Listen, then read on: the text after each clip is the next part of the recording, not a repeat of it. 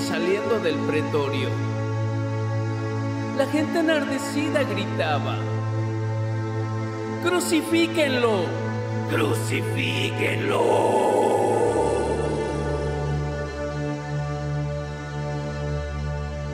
Como inocente cordero, fue llevado al matadero y no abrió los labios.